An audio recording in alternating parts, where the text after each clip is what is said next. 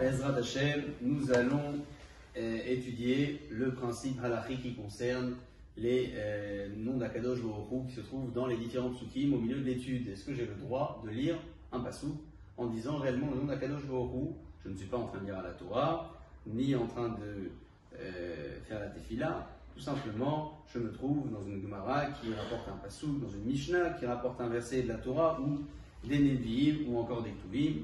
Est-ce que j'ai le devoir de euh, lire le nom d'Akadosh Baruch avec un surnom, comme euh, on peut le faire euh, à différentes occasions, Elohim, Hachem. Est-ce que j'ai le devoir de le dire comme ça? Alpi Alacha, assez surprenant.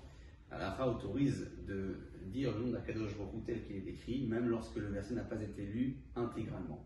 On entend souvent qu'il est préférable de lire le passage entièrement pour pouvoir lire le nom d'Akadosh Baruch tel qu'il est noté, Alpi Alacha, j'ai le droit de lire le pasouk avec le nom d'Akadosh Baruch tel qu'il est écrit, même si je n'ai pas lu le pasouk intégralement. D'autant plus que souvent, dans la Gemara, lorsqu'on apporte des psukim, ils ne sont pas écrits intégralement. Pourquoi? Parce que l'essentiel, c'est d'avoir une référence qui se trouve parfois au milieu du pasouk, au début ou encore à la fin.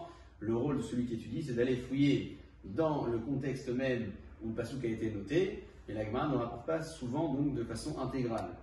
Et donc important de savoir que même lorsque c'est le cas, j'aurai le droit de dire le nom d'Akadosh Baruch tel qu'il est écrit.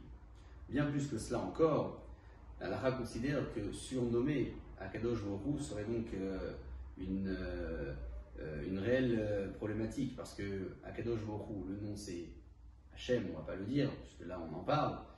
si je dis Hachem ou je dis Elohim, je vais donc donner un surnom à Akadosh Baruch Donc hormis les endroits où le surnom a été noté, là, je suis obligé de me conformer. Je vais le lire tel qu'il a été noté. Si ce n'est pas le cas, moi qui est donc derrière le texte, je serai obligé de lire le passage tel qu'il est noté avec le nom d'Akadosh Baruch Hu